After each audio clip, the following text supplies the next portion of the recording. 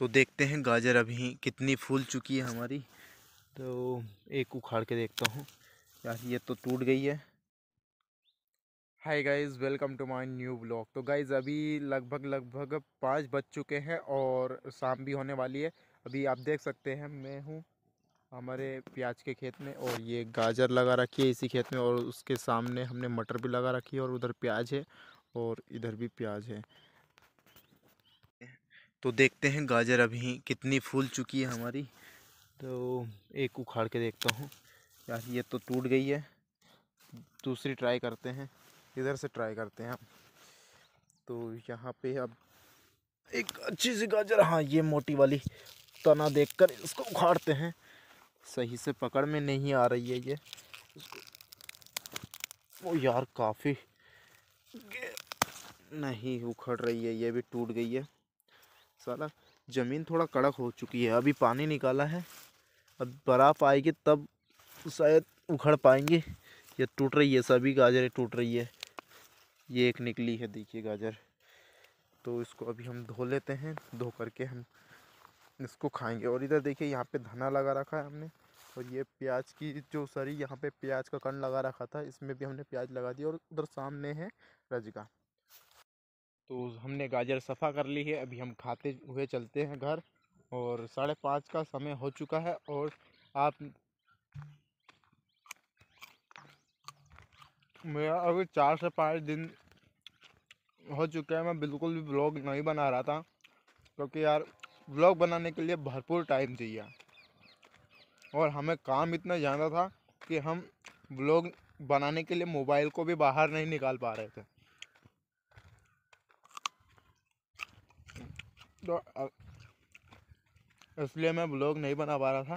तो अभी कंटिन्यू वापस से ब्लॉग आना स्टार्ट हो जाएँगे, क्योंकि तो अब थोड़ा हमारा काम लगभग लगभग सब कुछ कंप्लीट हो गया प्याज लगने का काम था, वो कंप्लीट हो गया। आज हमने दवाई भी डाल दी, खेतों में, वो भी कंप्लीट हो गया। अब बस सिंचाई चल रही है, और पशुओं के लिए बस रजगा वगैरह काटने का यही थोड़ा सा काम रहेगा। और शाम को तो मैं डेयरी संभालता हूँ, आपको पता ही होगा। यदि आप मेरे डेली ब्लॉग देखते होंगे।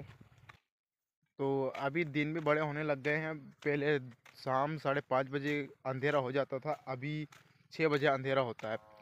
यानी कि आधे घंटे का दिन बढ़ चुका है। तो ऐसे ही दिन बढ़ते रहेंगे और उधर देखिए, सामने से विनोद आर्या गाड़ी से कि मम्मी को छोड़ने गया था घर पे। तो ये देखिए ये देखिए। पड़ता है। ये इधर यहाँ पे हमारा एक खेत है, जिसमें हमने मसूर लगा रखी थी। और ये मसूर उमसते उमसते देखिए कितना बड़ा टापा पड़ चुका है इसमें। काफ़ी मसूर उमस चुकी है। बहुत चीदी चीदी हो रही है, बस इधर थोड़ा सा खेत बचा हुआ है। बाकी ये देखिए पूरा सूख चुकी है उमस, ये देखिए पूरी मसूर सूख चुकी है, पीली पड़ चुकी है। बस ये इतने से इधर बचे हुए हैं। तो यार मसूर में ये सबसे बड़ी प्रॉब्लम होती है, ये देखते देखते ही उमस जाती है। देखिए, इस टाइप से उमसती है ये, पूरा सूख गया पौधा। और अंधेरा है घर में, बल्ब चलाते हैं। यार लाइट नहीं आ रही। तो गाइस अभी लाइट नहीं आ रही है, हम चेक करते हैं कहीं लाइट कहाँ से? प्रॉब्लम है लाइट में। तो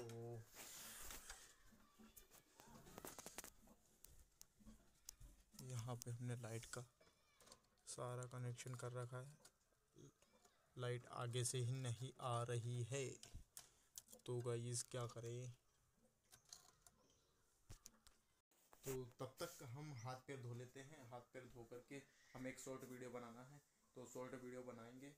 तो आज का व्लॉग यहीं पे करते हैं। एंड यदि आज का व्लॉग आपको पसंद भी आया, थोड़ा सा भी आया हो तो यार प्लीज़ लाइक करना।